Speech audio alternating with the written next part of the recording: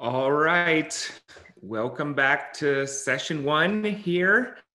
Um, and uh, I think I think you can all see me. Uh, as you imagine, there's a bit of uh, technology delays going on all over the place. I have like four screens up, so if I ever have some weird uh, um, misunderstood face on the screen, it's uh, it's because I'm doing about eight things at a time. Um, but our next speaker will not be. Our next speaker is going to blow you away. Uh, my friend Karen DeBaker is the Communications and Marketing Manager for Clean Water Services in Hillsboro, Oregon. Karen recently celebrated 20 years of navigating the district's marketing, branding, communications, research, and public education programs. Prior to Clean Water Services, she was a publicist for book publishing companies in Portland, Oregon, and Minneapolis, Minnesota. Karen has a Bachelor of Arts degree in both speech communication and in both speech communications and Spanish from the University of Minnesota and certificates in business management and marketing from Portland State School of Business. Karen is going to blow you away. I cannot wait for uh, for you to hear from her. Karen, take it away.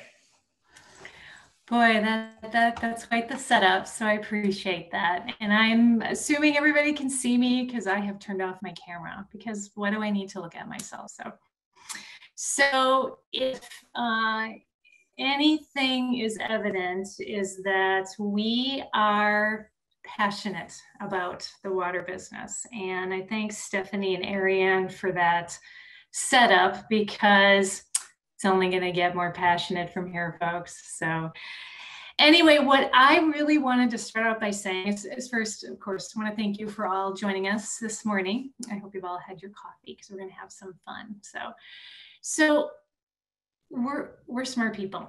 I, I hope you all think you're smart people. I, you know, I think I've gotten to the point in my life where I have more confidence in myself. So I feel that I've earned the right to say I'm a smart person. But we're we're educated uh, we're communicators, we're scientists. Yes, we're scientists. Um, and obviously, we're passionate about our work protecting public health and the environment. We, we feel the same way about our community, right? We, they're smart, you know, we, they have similar values, hopefully, to the values that we hold. Why we're in this business. Um, and we all want a safe and healthy environment. So we're pretty much, we're pretty confident that our audiences listen to or change their behaviors based on our messages, all our messages that we deliver to them. Uh, our customers hang on every word. They attend every one of our public meetings. Uh, they do what we want them to do because we're trying to help them, right? So of course they listen and do everything that we tell them to do. Uh, they support every endeavor, every, every endeavor and therefore our work is done. That's why every river is pristine. That's why storm drains no longer have oil. Soap from car washing, soap from pressure washing. Uh, no fertilizer ever runs off a lawn into a storm drain. Every lawn that you see when you're driving by has a little tuna can sitting in it and their water and hoses are on a timer and it shuts off when that tuna can hits one inch. And of course, no wipe has ever, ever seen the inside of a toilet bowl. So, uh, quite the utopia, right? We know that's not true, at least not yet. And I'd like to say it's a little bit of, of job security in a way. So, um, why aren't folks doing what we need them to do?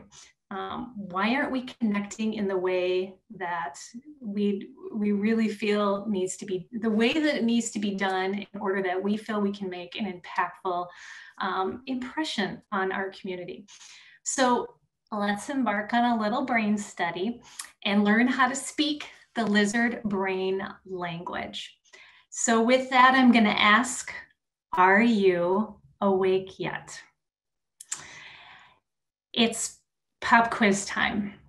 So uh, for those of you who have kids in school, you you and you probably remember what pop quizzes were. So we're gonna we're gonna embark on this a little bit here. So first of all, we are gonna take part in what's called a Stroop test. So the following words will will spell out a color. And I want you to say out loud the color that you see. For example, this color that's going to pop up right now, you should say blue. Okay. So this Stroop test was named after J. Ridley Stroop in the 1930s. And for my conductor on the other side of the screen who's running my slides here, I'm going to say the, the two letter word go, but don't do it yet. And then that will help us run through this test. So when we're ready. So hopefully you've all had your coffee. Um, I can't hear you, unfortunately. I don't think anyone else can hear you unless you're in the room with other people. So be emphatic. I want you to say these colors. Remember, you're saying, I want you to say out loud the color that you see and let's have some fun. So ready, set, go.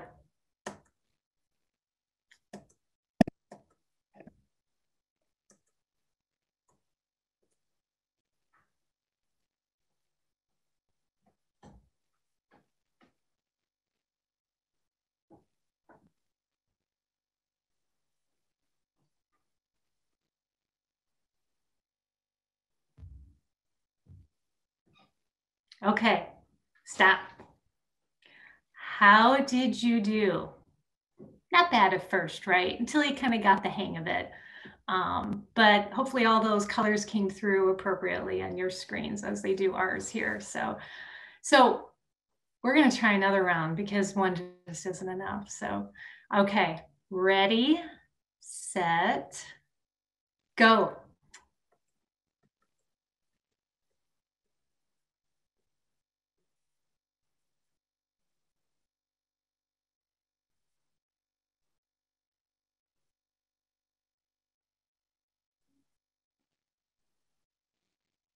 Okay, stop. So did you do better or worse? So again, I can't hear you, so hopefully you're being honest. But hopefully you're getting a little bit better because now you've been practiced. So, so try speaking a little louder. We're gonna try our last round. Ready, set, go.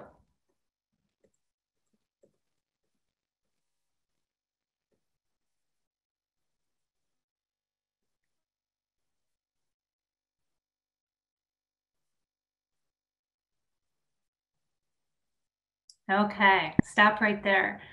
So fun stuff, eh? Um, and the traditional Stroop test, um, you can find it on YouTube. It's very fun.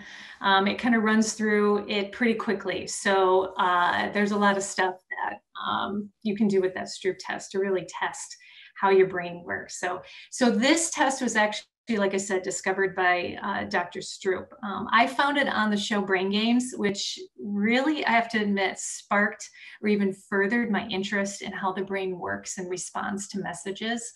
Um, so a few years ago, Brain Games, in fact, was a show that was the only show really that I think my whole family could watch and we all enjoyed. And my daughter, who was younger at the time in elementary school, would actually do better on these brain games than my husband and myself. And I think that has to do with um, the way that our brains and, and the way that our brains develop at certain stages in your life because she's younger and that prefrontal cortex hasn't been developed.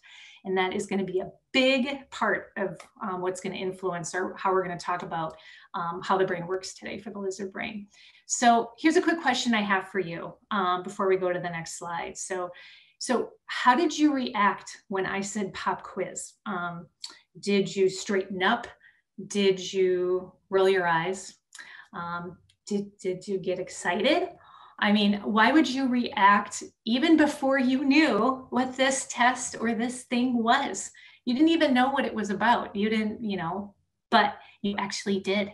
You had some history in your head. And I think that's really what what's going to influence, um, you know, how we operate. So that's what we're going to talk about today. Um, brain, for lack of a better phrase, has a mind of its own. So uh, let's really discuss what the Stroop test tells us. So Dr. Stroop determined that the brain is stuck on autopilot and it really, really craves shortcuts. And the other thing he determined is that automatic reading doesn't require focused attention. And finally, that processing color requires more attention and time. So it, it's actually really great insight into multitasking, right? I mean, are you really, really thinking clearly when you're doing more than one thing or two or three things at once, which I, you know, I've been known to do. Um, some say we should actually teach ourselves how to do unitasking instead. So the, the brain gets overwhelmed and tired. Um, I've actually said out loud while I was working on a project, my, my brain hurts um, while I'm concentrating so much uh, which is recently, I mean, that recently happened to me while putting together um, an IKEA desk. So uh, we've all been there. But because the brain is complex, there are many experts who study this amazing organ.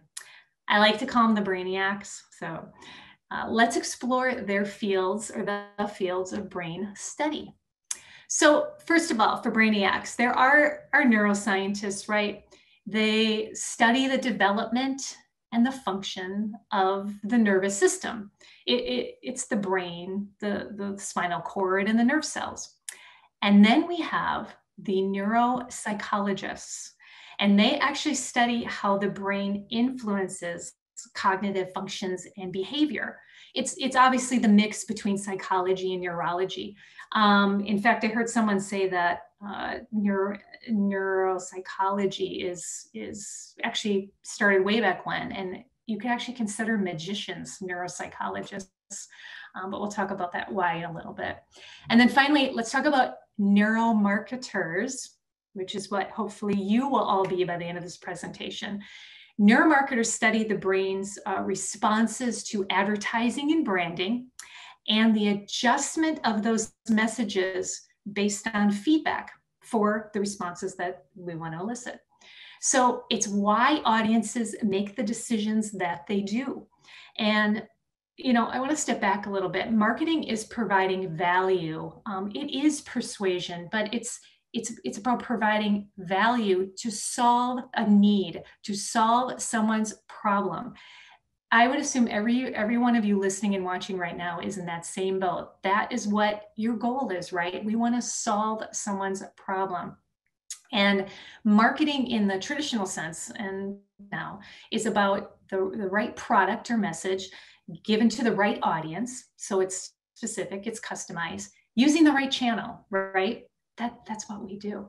So it really, really is about speaking to the subconscious needs of an audience to create a positive and memorable impact. So, I want to tell you about a few historical brainiacs, so to speak, who are instrumental in their fields of study and really, really helped us understand, you know, how the brain processes information. So I'm sure, and I hope you've all heard of this phrase, I think, therefore I am. And that was Rene Descartes. He was a French philosopher and mathematician. He said that emotions and rationality are separate in the body. However, neuroscientist Antonio Damasio disagreed. And he came along and said, you know what? We're not thinking machines that feel. We are feeling machines that think.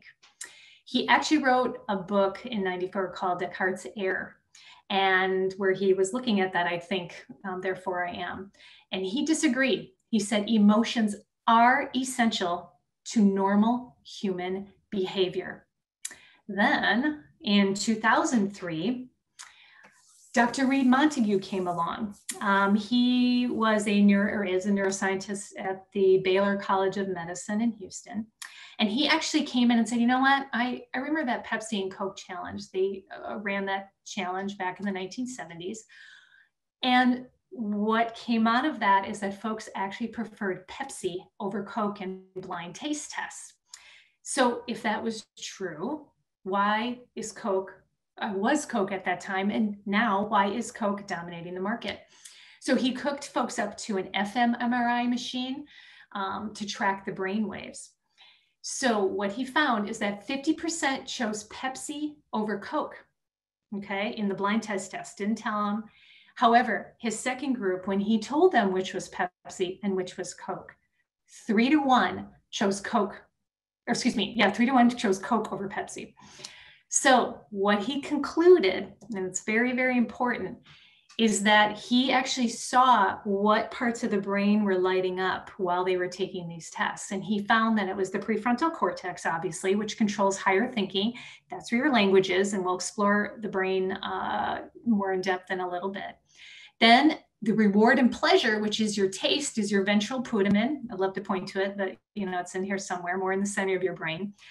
And then the other part that lit up, which is the key to this point that I'm making, was the hippocampus, which was the memory. So, what he concluded is that the brain is recalling the images and the ideas from the commercials, and that the thoughts and the emotions connected to the branding were actually overriding the reactions to the quality of the product. So, those commercials in the 1980s, for those of you who were lucky to be around then, as myself, um, and, and we're watching TV at that time. So, I do remember those Pepsi challenges. Um, and so, you can see the impact that that had. So, you you ha- the, the key key point that i want to make here is that the brain roots for shortcuts i mean that's the main thing the the memories and it's the experiences and it's the emotions over overriding a laundry list of the benefits and value judgments and risks. So, brain basics. I want to, I told you we were going to do this. Let's dive a little bit deeper to peek inside the brain a little bit. So, we'll stop right here, conductor on my other side. So this this this is your brain, and the reason I put that in quotes is again for those of you who were coherent and and watching TV in the 1980s like myself, you may remember the commercials. I believe they were anti-drug uh, campaign where this is your brain. And the person was standing by the stove and cracked two eggs, and then it would bubble, and the brain would fry, excuse me, the eggs would fry, just supposed to symbolize your brain frying on drugs. But this is your brain. And then the next comment was, this is your brain on drugs. So I just thought that was appropriate to put in there. But so first I want to say is that the brain actually makes up 2% of your body mass. However, it burns 20% of your energy, of the energy that your body uses. So first I want to show you what 10% of your brain, of that 20%, 10% of your brain is controlled by the cognitive and rational part of your brain. We talked about the neocortex a little bit earlier. And that's language. That's where your language comes from. That's where conscious decisions come from. That's an operative word, conscious. But uh, it's actually very slow and lazy. So, second of all, we want to look at the next part of the brain, which is very important. And this is the lizard brain, the primal brain. You'll hear it called the, the reptile brain as well. And this is 90%. So, of that 20% that takes up your energy, 10% is cognitive, the rest of it is all under the subconscious. It's this primal brain. It is this primal brain that is driving everything that you do. Um, so it's selfish it's it's it's unconscious as we've mentioned it controls your body functions it's always on and it's quick there's actually a third part and i don't want to say it's a sub part of this primal lizard, lizard brain but it's what actually folks have called the limbic and the emotional side of the brain and that actually is actually part of this primal and lizard brain but i felt it was important to call it out plus I didn't have enough room on my screen to kind of go vertical, so I had to go horizontal. So there we go. So the limbic and the emotional part of your brain, it's the behaviors, it's your senses, it's your gut feelings, it's emotional, it's trust, it's loyalty. Those are where your true decisions are made. So your brain, your, your lizard brain, um, and the majority of your brain for that sake, is always scanning the environment for threats. And um, you got to remember the lizard brain is pre-verbal and it craves mental shortcuts. Um, it prefers images over words and experiences over long explanations. So too many messages today are under the illusion that we can go straight to the rational brain, to the neocortex. They're unfortunately text centric, they're cognitive, they're heavy, and they fail to engage the lizard brain. So, how do we speak to and stimulate the lizard brain to move people to action? So we're going to talk about stimuli. So the first stimuli is personal. What's in it for me? You know, it, I'm in, you know, I'm in survival mode. It, it's my family, it's my pets, it's my home, it's my wallet. Okay. The second stimuli to speak to the lizard brain is contrastable. Always talk about what's before and after, the good, bad, the with, without. What's life with your product or your construction project or your, your message? And what's life without? I mean, and always make sure to limit your claims to three, just as an FYI. The next one is tangible. It's about evidence, nothing complicated, the lizard brain does not have concept of time and future. Um, we like to say at Clean Water Services, a watershed's like a great big bowl. So seeing is believing, or seeing the image in your head is believing, make it tangible. The fourth one, memorable. The, the brain is not on a mission to store a lot of information.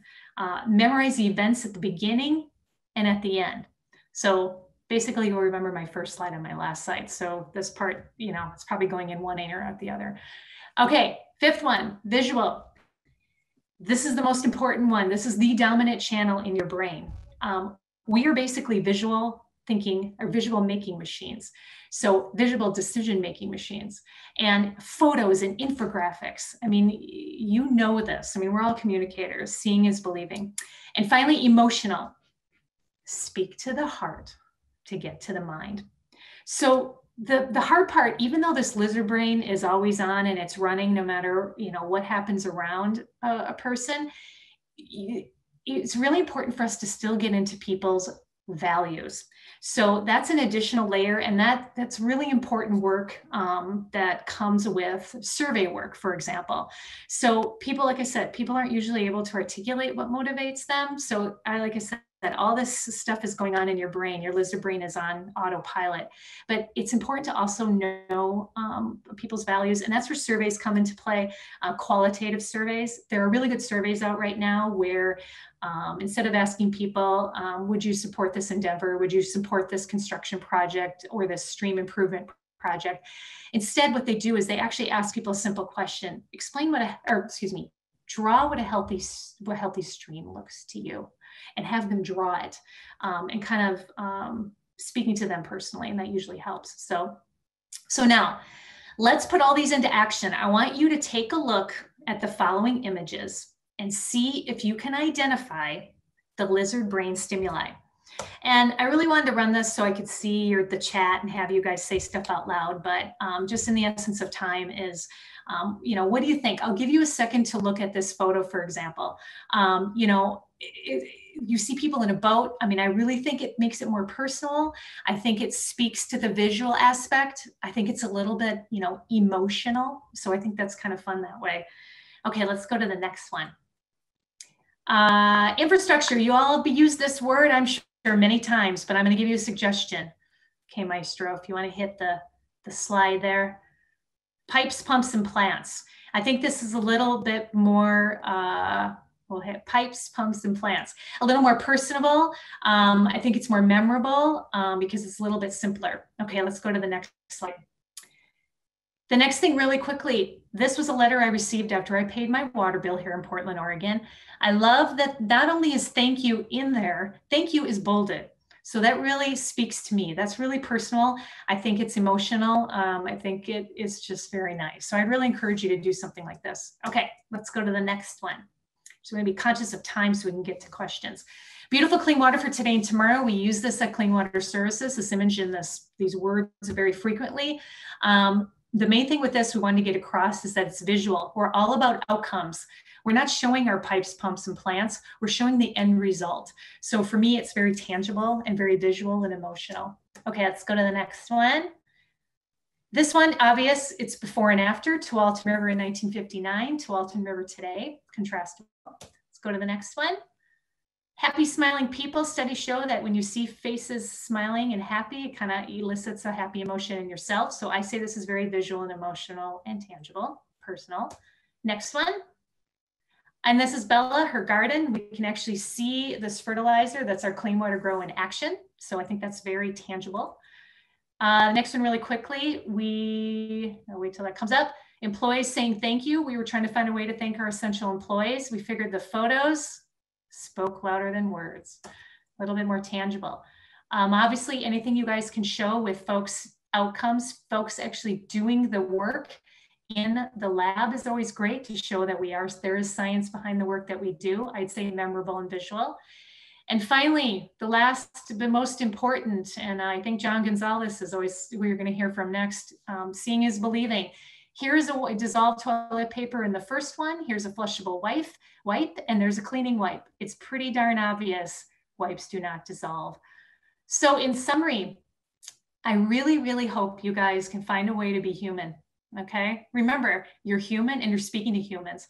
What speaks to you, what gets you motivated, um, back to the pop quiz. When you heard those words, did you straighten up? You know, um, maybe we should start calling pop quizzes discovery exercises. Anyway, there's a lot of memories that pop up when you hear these things that you're familiar with.